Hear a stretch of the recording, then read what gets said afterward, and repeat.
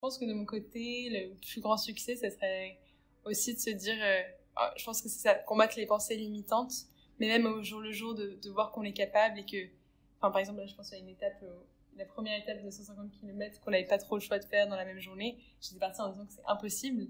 Et donc, on, est parti en se disant, OK, on s'arrête quand on veut, il n'y a pas de pression. Et le fait d'enlever toute pression, pour moi, c'était juste impossible de faire 150 km, mais du coup, on a fait dizaines de kilomètres après dizaines de kilomètres, puis en fait, ça s'est très bien passé et euh, c'était le début.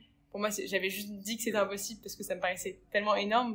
Encore une fois, il faut juste euh, voir heure après heure comment on sent. Puis au final, ça s'est fait. On est arrivé au coucher de soleil et c'était c'était une très belle petite étape par petites étapes. Une belle journée.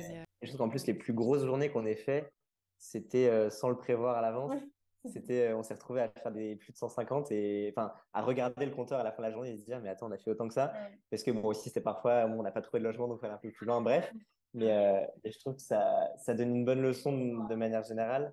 Euh, parce que, euh, enfin, une bonne leçon pour tout challenge, c'est de se dire, juste on se lance et à la fin, on se rend compte que ça a été fait et on se dit, bah, en fait, finalement, c'était pas du tout impossible et, et voilà.